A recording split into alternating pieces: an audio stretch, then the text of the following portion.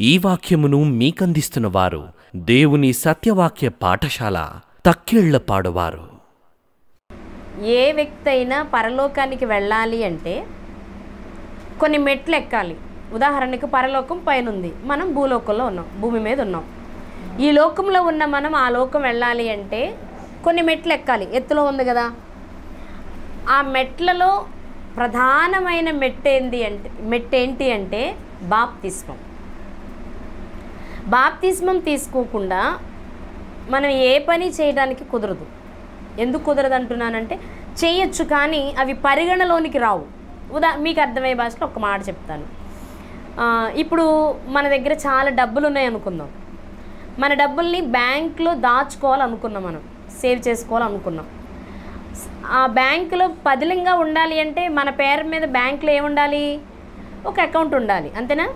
Account లేకుండా మీరు డబ్బులు దాచుకోగలరా? బ్యాంక్లో? దాచుకోలేం కదా. అదే అకౌంట్ ఉందనుకోండి వేసుకోవచ్చు అవసరాన్ని బట్టి తీసుకోవచ్చు. ఇది ఎలాగో పరలోకానికి వెళ్ళాలి అనుకునే మనం భూమి మీద చాలా పనులు చేస్తాం. ప్రార్థనకి వెళ్తాం పాటలు పాడతాం ఇంకా వస్తే వాక్యాన్ని చెప్తాం దేవుని పనికి డబ్బులు ఖర్చు పెడతాం పరిచర్య చేస్తాం అనేక మందిని పిలుస్తాం వాక్యాన్ని వినిపిస్తాం. వాక్యం చెప్పేవారిని పిలిపిస్తాం వారికి ఖర్చు పెట్టుకుంటాం. ఇన్ని మంచి పనులు చేసిన మన జీవితంలో బాప్తిస్మం అనేది మనం తీసుకోకపోతే మనం పరలోకానికి వెళ్ళడానికి అర్హత లేదు.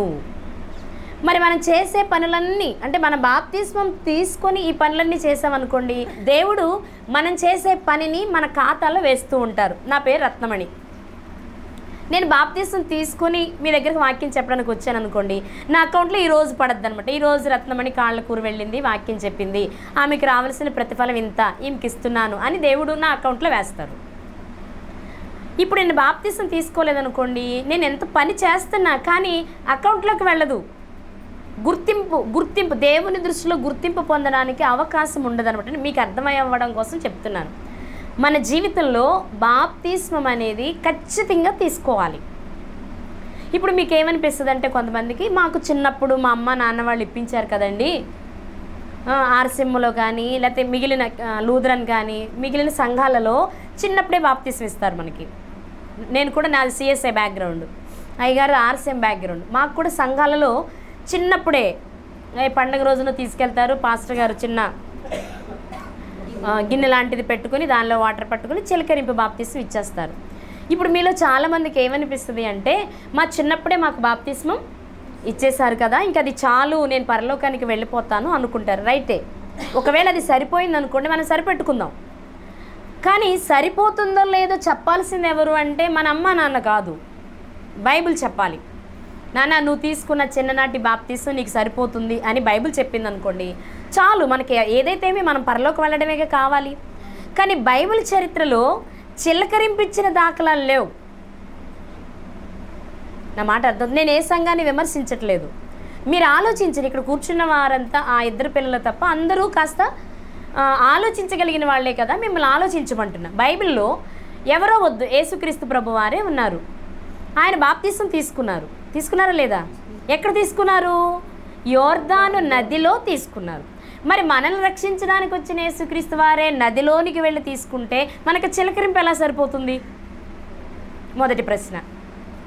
ఇక రెండో ప్రశ్న. యేసుక్రీస్తు ప్రభు వారు ఏ వయసులో బాప్తీసం తీసుకున్నారు?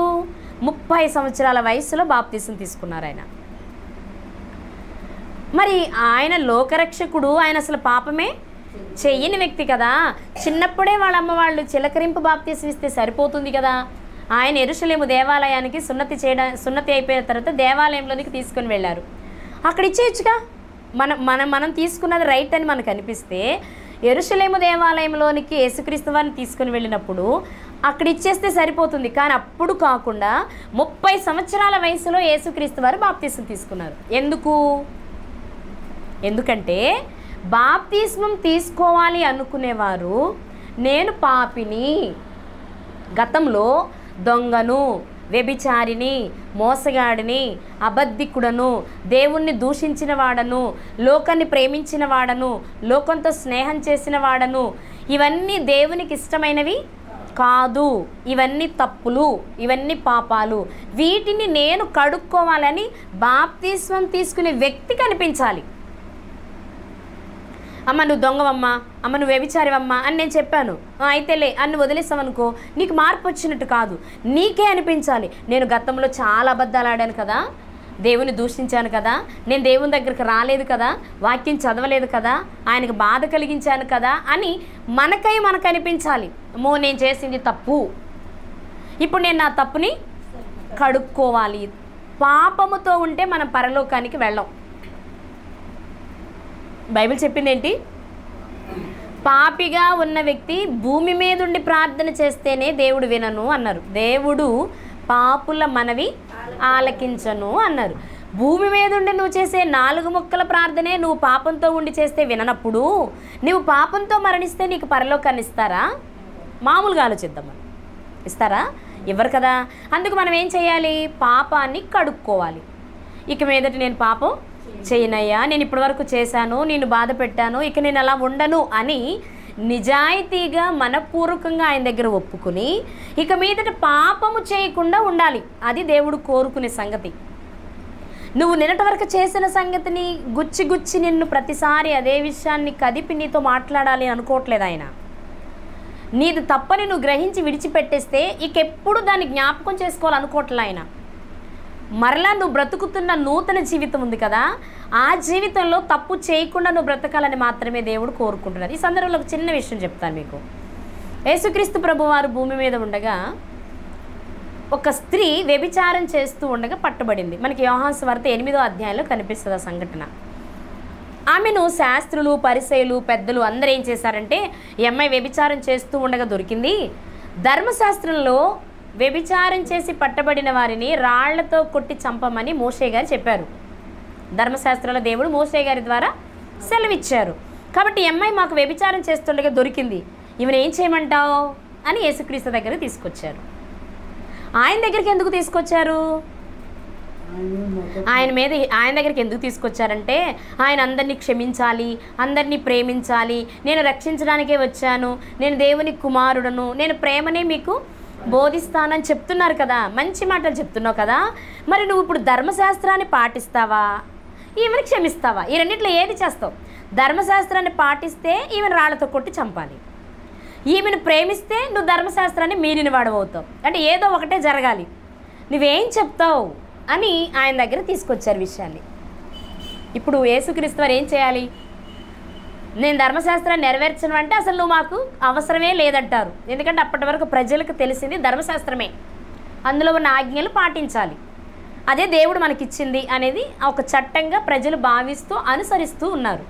మరి ఇప్పుడు ఏం చేయాలి అన్నప్పుడు యేసుక్రీస్తు వారు జ్ఞాని గనుక చక్కని సమాధానం చెప్పారు ఆయన. ఏమని? ఓకే ధర్మశాస్త్రం ప్రకారం రాళ్ళతో కొట్టాలి. ఓకే కానీ ఎవరు కొట్టాలి? ఎవరు కొట్టాలి? నువ్వు ఆవిడ పాపని కదా నువ్వు కొడుతున్నావు? ఆవిడ వ్యభిచారిని కదా నువ్వు కొడుతున్నావు? ఓకే నువ్వు వ్యభిచారివి కాకపోయినా నీకే తప్పు లేకపోతే కొట్టు. నువ్వు వ్యభిచారివే కాక్కర్లా? నువ్వు హంతకుడివే కాక్కర్లా? అంటే ఆవిడ వ్యభిచారి నువ్వు దొంగవై ఉండొచ్చు. లేదా ఆమె వ్యభిచారి నువ్వు మోసగాడివై ఉండొచ్చు. ఆమె వ్యభిచారి నువ్వు బూతులాడేవాడివై ఉండొచ్చు. ఏ ఏదో ఒక లోపం మనుషుల్లో ఉంటుంది కదా. మనం అలాంటి వారమే మనం పాపం చేయకుండా ఉండాలి అని కదా మనం ఆలోచించాలి. అలా కాకుండా సహోదరిని ప్రేమించకుండా ఆమెను ఏ రకంగా ఇబ్బంది పెట్టాలా ఆమె వంకతో నన్నే రకంగా ఇరికిచ్చాలా అని మీరు ఆలోచిస్తున్నారని ఆయన అనుకుని ఉంటారు లోపల. బయటకు మాత్రం ఆయన చెప్పిన మాట ఏంటి అంటే మీలో పాపము లేని వాడెవడో వాడేయండి వేయచ్చు వేయండి. ధర్మశాస్త్రం ప్రకారం రాళ్ళతో కొట్టాలి. కొట్టండి. కానీ కొట్టే ముందు మీరు పాపులు కాకపోతే కొట్టండి. ఎంత జ్ఞానవంతమైన మాట ఆలోచించండి. మనమైతే మనకైతే ఆ సమాధానం వస్తుందా? మనం చెప్పలేము కదా? వెంటనే ఎవరికి వాళ్ళకే అర్థమైంది మాలోనూ లోపాలు ఉన్నాయని. పెద్దవారు మొదలుకుని చిన్నవారి వరకు బయటకు వెళ్ళిపోయారట. అక్కడ ఎవరు మిగిలారంటే ఆ స్త్రీ మరియు యేసుక్రీస్తు వారే మిగిలారు. ఇక్కడ చాలా విషయాలు మనం నేర్చుకోవచ్చు. యేసుక్రీస్తు వారు ఎందుకు మిగిలారు? అంటే ఒక ఒక ఒక యాంగిల్లో ఆయన కూర్చొని ఉన్నారు. ఓకే అక్కడ మిగిలి వాళ్ళు వచ్చిన వాళ్ళు వెళ్ళిపోయారు ఆయన అక్కడే కూర్చొని ఉన్నారు. రెండో విషయం ఏంటి అంటే ఆమె మీద రాయి వేసే అర్హత కలిగిన వ్యక్తి ఆయన. మిగిలిన వాళ్ళందరిలో లోపాలున్న వెళ్ళిపోయారు. ఆయనలో? అసలు నాలో పాపం ఉన్నదని మీలో ఎవడు స్థాపించగలడు ఎవడు చెప్పగలడు అని సవాలు విసిరిన చరిత్ర అయింది. సో రాయి వేసే అర్హత ఎవరికి ఉంది ఇప్పుడు? ఆయనకుంది. కానీ ఆయన ఏమన్నారో తెలుసా? తలపైకెత్తి అమ్మా అమ్మా మనం అంటామన్నమాట వ్యభిచారం చేస్తుంటే చూడటం కాదు. వ్యభిచారం చేస్తుందని తెలిస్తేనే వాళ్ళని మనం ప్రేమించలేము మనం మంచోళం కాకపోయినా. మనకు వేరే లోపాలు ఉంటాయి కానీ మన లోపాలు పెద్ద లోపాలుగా మనకి అనిపించు. ఆ తప్పు చేసేవారి వ్యభిచారులు మాత్రమే మన దృష్టిలో పెద్ద పాపులు. అవునా కాదా? వాళ్ళనే మనం భయంకరంగా చూస్తాం. మనలో ఎన్ని లోపాలు ఉండవండి? నిజం చెప్తాం మనకు మాట్లాడుకుందాం. కానీ వాళ్ళ వాళ్ళని మనం చూసినట్టు వాళ్ళు మనల్ని చూస్తే ఊరుకోం. ఏ ఏంటి నన్ను అలా చూస్తున్నావు? నేను నేనేమో నీలా ఉన్నానా అంటాం. మనకి మనకు ఉంటాయి మనకి మనం కవర్ చేసేసుకుంటాం. ఆ వ్యభిచారం అనే పాపం చేసేవారే పెద్ద పాపుల్లా లోకల్ ఎక్కువ కనిపిస్తూ ఉంటారనమాట అందుకే యేసుక్రీస్తు ఆ స్త్రీని చూసి చెప్పిన మాట ఏంటో తెలుసా? అమ్మా నిజంగా ఆ మాటకే ఆమె మనసు కరిగిపోయి ఉండాలి. నన్ను అందరూ చిన్న చూపు చూస్తూ ఉన్నారు తేలికగా మాట్లాడుతున్నారు. కానీ ఇదేంటి? పవిత్రుడైన ఈయన అమృతవాక్కులు అందించే ఈయన ఒక వ్యభిచారినైన నన్ను పైగా వ్యభిచారం అంటే ఏదో చాటుగా చేసేదాన్ని కాదు నేను దొరికిపోయాను రెడ్ హ్యాండెడ్గా అయినా నన్ను చూసి ఆయన ఏమని పిలుస్తున్నారు? అమ్మా అని పిలుస్తున్నాడు. చిచి ఇక నేను పాపం చేయకూడదు అనేసుకుని ఉంటుంది అప్పుడే ఆవిడ. మనకి రాయబడకపోయినా ఆ మాటే ఆమె హృదయాన్ని కదిలించుంటుంది రాయి వేయక్కర్లా. అంతకంటే బలమైన మాటలు ప్రభు పలికిన మాట కదా? అమ్మ ఎవ్వరు నీకు శిక్ష విధించలేదా? అంటూ నేనును నీకు శిక్ష నేను నువ్వు విధించినట్టు అర్థం ఏంటి? నేను విధించగలను విధించగలిగిన వాడను కానీ నేను కూడా నీకు శిక్ష విధించను. కాబట్టి ఇక వెళ్ళి మళ్ళీ నీ ఇష్టం అనలేదు ఆయన. నేను అసలు ఈ సందర్భాన్ని ఎత్తింది ఎందుకు అంటే ఒకసారి దేవుని దగ్గర మన పాపమును ఒప్పుకున్న తర్వాత మరలా దాని జోలికి పోకూడదు. యేసుక్రీస్తు వారు నేర్పింది ఆ సందర్భంలో ఆ విషయమే. అమ్మ ఎవరు నీకు శిక్ష విధించలేదా? నేను విధించును కానీ ఇక మీదట నువ్వు వెళ్ళి పాపము చేయొద్దు. అంటే నువ్వు వదిలిపెట్టేసావు కదా అంటే మనస్సును చూస్తున్నారు ఆయన. బహుశా స్త్రీ అందరు మామూలుగా మార్పు చెందని స్త్రీ అయితే ఏం చేయొచ్చో తెలుసా అక్కడ? అందరూ వెళ్ళిపోయారు వాళ్ళ వెనకాల ఏం కూడా వెళ్ళిపోవచ్చు. ఇంకేమైనా ఎవరు కొట్టలేదుగా? ఏంటి వాళ్ళు పెద్ద మంచి వాళ్ళ వాళ్ళు కాదుగా నేను కాదు. ఇంకేముంది సైలెంట్కి వెళ్ళిపోవచ్చు. కానీ ఆ స్థితిలో లేదు ఆ స్త్రీ? అయ్యో ప్రభువా నా జీవితాన్ని నువ్వు మార్చేసావు నీ మాటల్లో ఇంత మధురం ఉందా? నీ మాటల్లో ఇంత శక్తి ఉందా? ఇక నేను చేయనయ్యా. ఇక ఏదో దొరికాను చేశాను అయిపోయింది కానీ ఇక నేను చేయను అని బహుశా ఆమె మనసులో అప్పటికే పశ్చాత్తాపం వచ్చేసి ఉంటుంది. అది మెచ్చుకున్న క్రీస్తు అన్నారు ఇక ఎప్పుడు చేయకమ్మా? ఎందుకు ఈ సందర్భాన్ని మీతో మాట్లాడుతున్నాను నేను అంటే మన జీవితంలో ఈ క్షణం వరకు తప్పిదాలు ఉండొచ్చు. ఇప్పుడు మీరు వాటిని ఒప్పుకోవాలని కదా వచ్చారు ఇక్కడికి. ఒప్పుకున్న తర్వాత మరలా మరలా వెనకకు వెళ్ళకూడదు. బైబిల్ చెప్పిన మాట ఒక మాట ఉంది. ఏమని అంటే కడగబడిన పంది బురదలోకి వెళ్ళకూడదు. కుక్క తన వాంతికి తిరిగినట్లుగా మన జీవితాలు ఎందుకంటే మనం పందులం కుక్కలం జంతువులం కాదు. సాక్షాత్తు పరలోకపు తండ్రి ఆత్మను పొందుకున్నవారు మనం. ఆయన రూపాన్ని ఆయన స్వభావాన్ని సమాజానికి తెలియచేయవలసిన వారు. మనల్ని చూస్తున్నప్పుడు వీళ్ళు దేవుని పిల్లలండి. వీరు అబద్ధాలు ఆడరు. వీరు మోసం చేయరు. వీరు భయభక్తులతో ఉంటారు. వీరిని చూస్తే మీకు అర్థమవట్లే వీరు దేవుడు చాలా గొప్పవారు అని చెప్పుకునేలా మన బ్రతుకులు ఉండాలి. ఇది దేవుడు ఆశించేది. చాలామంది చేసే పొరపాటు ఏంటంటే నేను నిలబడలేనండి. నేను దేవుని కొరకు బ్రతకలేనండి. అబద్ధం ఆడకుండా ఉండలేనండి. బైబిల్ చదివి రోజు దేవునికి నేను మహిమను చెల్లించలేనండి. నేను ఏదో ఒక రోజు చదవకుండా మానేస్తానేమో ప్రార్థన చేయకుండా ఉంటానేమో దశమ భాగం ఇవ్వలేనేమో సువార్తకు వెళ్ళలేనేమో వెళ్ళలేనేమో అనుకుని బాప్తిసం తీసుకోవడం మానేస్తాం. అలా ఎందుకు ఆలోచిస్తున్నావు? దేవుని మీద నీ భారాన్ని వేసి నువ్వు బాప్తిస్మం తీసుకుంటే తప్పు త్రోవలోనికి వెళ్ళకుండా దేవుడు నిన్ను ఆపుతారు కదా? అవునా కదా? మనం లోకల్లో ఒక సామెత చెప్తాం. ఏమని అంటే ఏ తలకాయ లేకపోతే ఎద్దు తలకాయ తెచ్చుకోమంటారు. పెద్దలకు తెలిసి ఉంటుంది. ఎందుకు? తల చాలా అవసరం. అవునా కదా? మన మన దేహంలో కూడా అవయవాలలో తల కావాలా వద్దా? తలే ముఖ్యం. అన్ని జీ- అన్ని అవయవాలు పని చేయాలంటే తల పని చేయాలి తల నుండి ప్రతి సంకేతం మన బాడీలోనికి వస్తుంది కాబట్టి. తల చాలా ముఖ్యమైనది కదా. అందుకే ఏ తలకాయ లేదా ఎద్దు తలకాయ పెట్టుకుని ఎందుకు చెప్తారంటే అంటే పెద్దవారు ఉంటే మనకి సరైన సలహాలు ఇస్తారు. అర్థమవుతుందా? చిన్నవారు అనుకోండి అనుభవం ఉండదు. ఆ విషయం మీద వారికి అవగాహన ఉండదు. ఏం చేయాలో వారికే తెలియదు అదే పెద్దవారుంటే అదే పెద్దవారు ఉంటే ఏం చేస్తారు? ఏ తప్పు? అలా చేయకండి. అలా చేస్తే దీనివలన ఇది ఇది నష్టపోతావు. దీనివలన ఇలాంటి ఇబ్బంది నువ్వు పడవలసి వస్తుంది? లేదా ఇలాంటి నిందను నువ్వు పడవలసి వస్తుంది? అలా వద్దు అని చెప్పాలి అంటే అనుభవం కలిగిన వారు ఉండాలి. ఇప్పుడు మనం బాప్తిస్మం తీసుకున్నాం అనుకోండి. పరిశుద్ధాత్మ అనే ఒక వరాన్ని ఒక పెద్ద ఆయన్ని దేవుడు మనకిస్తారు. అర్థమైందని చెప్పింది? వివాహం చేసుకుంటే దేవుడు గర్భఫలాన్ని బహుమానంగా ఎలా ఇస్తారో బాప్తిస్మం తీసుకుంటే నానా నువ్వు బాప్తిస్మం తీసుకున్నావు కదా? ఇక మీదట నువ్వు పాపం చేయకూడదు కదా? మరి నువ్వు ఎప్పుడైనా తెలియక నీకు ఏదైనా చెడ్డ తలంపులు వస్తే తప్పు అని నిన్ను ఖండించాలి అంటే ఒక పెద్ద మనిషి నీకు కావాలి కదా? ఇదిగో నా కుమారుడైన పరిశుద్ధాత్మను నీకు ఇస్తున్నా. ఆయన నువ్వు తప్పు చేయకుండా నిన్ను కాపాడు. ఉదాహరణకి తాతలు మనవళ్ళు రోడ్ల మీద నడుస్తూ చూస్తాం మనం. తాతగారు మనవడి చేపట్టుకొని నడుస్తూ ఉంటాడు. రోడ్డు మధ్యలో నడుస్తూ ఉన్నప్పటికీ ఎదురుగా లారీ వస్తుంది అనుకోండి అదే మధ్యలో నడిపిస్తాడు తాతయ్య? పిల్లవాడు తెలియక తాత ఆ మధ్యలోకి లాగిన తాత స్పీడ్గా పక్కకు. ఎందుకని?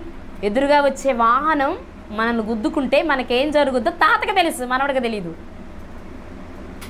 అందుకు తాత ఏం చేస్తాడు? ఎదురుగా వచ్చేటప్పుడు మనం మధ్యలో నడవకూడదు నాన్న ప్రక్కన నడవాలి అని తాత నేర్పించాలి. అప్పుడు పిల్లవాడికి అర్థమవుతుంది ఓహో ఏమీ లేనప్పుడు పర్వాలేదు కానీ ఏమైనా వచ్చేటప్పుడు నేనేం చేయాలి? ప్రక్కన జాగ్రత్తగా నడవాలి. ఎవరు చెప్పారా నీకు? మా తాత చెప్పాడు.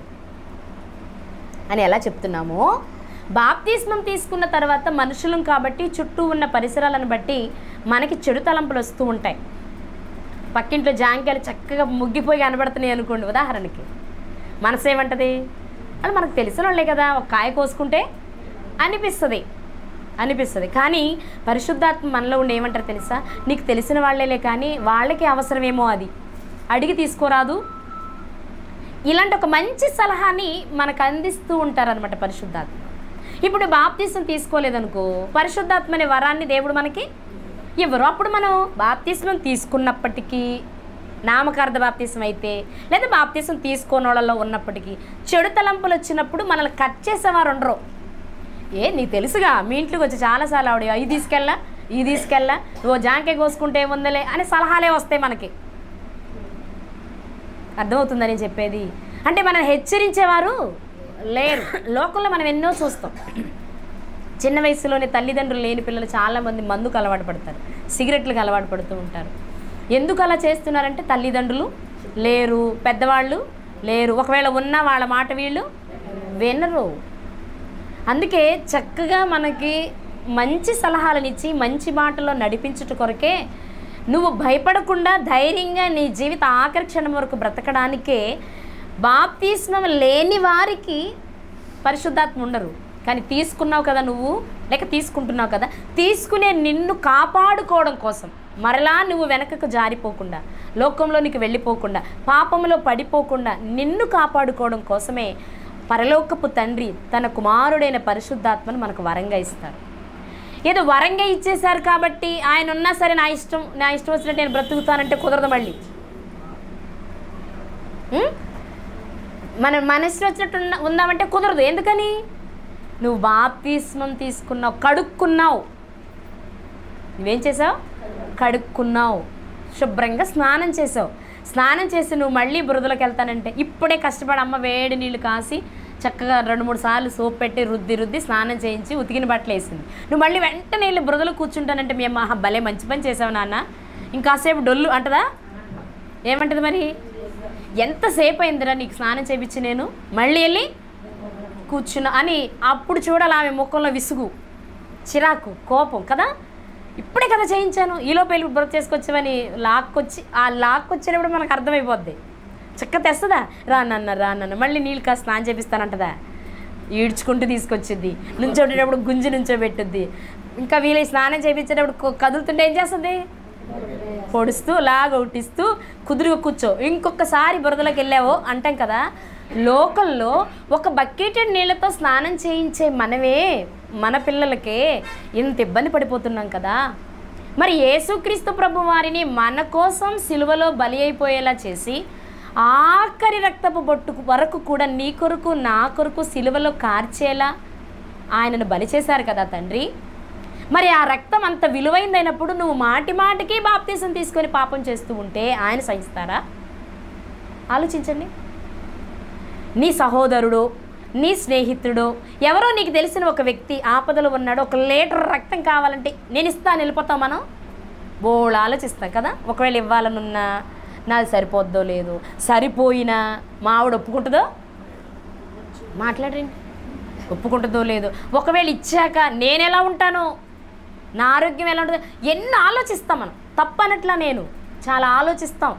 ఒక లీటర్ బ్లడ్ నీకు అవసరమైన వారికి ఇవ్వడానికి ఇన్ని ఆలోచిస్తున్నావు కదా? మరి తన ప్రియమైన కుమారుడిని దేహంలో ఒక్క రక్తపు బొట్టు కూడా మిగలకుండా మన కోసం దారపోయించాడే తండ్రి ఆ రక్తానికి విలువ కట్టగలవా నువ్వు? మరి ఆ రక్తంలో నా పాపాన్ని కడుక్కుంటున్నానని చెప్పి బాప్తీసం తీసుకుని నీవు మళ్ళా తెల్లారగానే నువ్వు పాత జీవితానికి అలవాటు పడిపోయి వెళ్ళిపోతూ ఉంటే ఎలా సహిస్తారు ఆయన? ఈరోజు దేవుడు సెలవిస్తున్న మాట ఏంటి అంటే నిజంగా నేను పాపిని. నేను? నేను పాపిని. భయంకరమైన నా జీవితం ద్వారా ఆ తండ్రి కుమారులకు నేను బాధను కలిగించా నష్టాన్ని కలిగించా. నేను చేసింది తప్పు నేను ఒప్పుకుంటున్నా. ఇక మీదట నేను ఆ తప్పు అనుకుంటేనే బాప్తీసం తీసుకోండి. ఏదో వయసు అండి ఏదో లోకం అండి ఇంత కఠినంగా ఉంటుంది అనుకోలేదండి. చిన్న అబద్ధం కూడా ఆడకూడదని తెలియక నేను తీసుకున్నాననే సాకులు రేపు మీరు చెప్పడానికి వీల్లేదు. మీ ఈ విషయంలో బాప్తిస్మం తీసుకునే విషయంలో ఏ మాత్రము బలవంతము లేదు. ఎవ్వరం బలవంతం చేయం ఎందుకంటే మీరు ఏదో మీ దగ్గర ఉన్న డబ్బులు పెట్టి కొనుక్కునేది కాదు ఈ రక్షణ అనేది. అలా కొనుక్కుంటే కాస్ట్లీగా కొనుక్కోవచ్చు. ఒక్కొక్కరు ఒక్కో టైప్లో కొనుక్కోవచ్చు. అవును కదా? మన దగ్గర ఎన్ని వేల కోట్ల రూపాయలు ఉన్నా వెలకట్టలేని రక్తం యేసుక్రీస్తు ప్రభు వారిది అమూల్యమైన విలువైన ఆ రక్తంలో నువ్వు కడుక్కోవాలనుకునేటప్పుడు దానిని చిన్నగా చులకనగా చూస్తూ మీరు బాప్తీసం తీసుకుంటే మాత్రం తీసుకోక మునుపు చేసిన పాపము కంటే అధిక పాపం చేసిన వారు అవుతారు కావాలంటే తీసుకోకుండా మానేయండి మిమ్మల్ని ఎవ్వరు బలవంతం చేయరు. కానీ తీసుకొని మరలా మీరు తప్పు చేశారు. అది అసలు క్షమించడానికి అర్హతే లేనంత పెద్ద నేరం అవుతుంది. అది గుర్తుపెట్టుకోండి మీ జీవితంలో. అందుకే ఆలోచించుకోండి ముందే. నిజంగా మీకు బాప్తిస్మం తీసుకోవాలి అనిపిస్తే నేను పాపిని నేను పాపిని ప్రభువా నన్ను మన్నించు. పాపపు ఈ లోకంలో నేనున్నా పాపం అంటకుండా జాగ్రత్తగా బ్రతికితేనే నీ ఉన్న లోకానికి నేను రాగలను అలా రావాలనుకుంటున్నానయ్యా. నన్ను కడుక్కోవాలనుకుంటున్నాను అని మీరు మనపూర్వకంగా అడిగితే తీసుకోవాలి అనిపిస్తేనే తీసుకోండి. అంతే తప్ప ఏదో తీసుకోవాలంటున్నారు కదా బాప్తిస్మం లేకపోతే పరలోకం లేదంటున్నారు కదా అందరితో పాటు తీసేసుకుందాం అనుకుని తీసుకుంటే అది దేవుడు మెచ్చేది కాదు మీకు పరిశుద్ధాత్మను వరముగా ఇవ్వరు. ఇక ఆయన వరంగా రాకపోతే నువ్వు తీసుకున్నావు ఒకటే? అలాని నేను ఏ తప్పు చేయలేదండి నా ఊహ తెలిసిన నాటి నుండి నేను చాలా బాగున్నాను నాకు బాప్తిస్మం అవసరం లేదు అనుకోవద్దు. ఎందుకంటే యేసుక్రీస్తు వారే పాపం చేయలేదు అసలు ఆయన. అయినా తీసుకున్నారు ఎందుకు మనకు మాదిరి చూపించడానికి ఆయన మాదిరి చూపించారంటే అర్థం ఏంటి ఇప్పుడు మనం అలా చేయాలి అని. కాబట్టి మనం ఖచ్చితంగా బాప్తిస్మం తీసుకోవాల్సింది. బాప్తిస్మం యొక్క అవసరత మనకు లేకపోతే పాపము చేయని యేసుక్రీస్తు వారు తీసుకునే తీసుకునేవారు కాదు. ఆయన తీసుకున్నది ఎందుకంటే ఇదిగో మీరు నా వలె తండ్రి దగ్గరకు రావాలంటే పవిత్రంగా ఉండాలి. అయితే నాలా మీరు లేరు కదా. మీరు తెలుసో తెలియకో తప్పులు పొరపాట్లు చేశారు. అలా ఉంటే మీరు నా తండ్రి దగ్గరికి రాలేరు కాబట్టి మీ జీవితాలు కడుక్కోమని చెప్పడానికి నేర్పించడానికి యేసుక్రీస్తు వారి బాప్తిస్మం తీసుకున్నారు. కాబట్టి ఒక్కసారి ఆలోచించండి నేను ఇంక విషయంలోనికి వెళ్ళలేదు. మిమ్మల్ని ఏం ఆలోచించమంటున్నానంటే మీరు హృదయపూర్వకంగా నేను పాపిని నేను ఇలాగే మరణిస్తే నేను నరకానికి వెళ్ళిపోతాను. అక్కడ కలకాలం ఎలా ఉంటుంది చెప్పనా?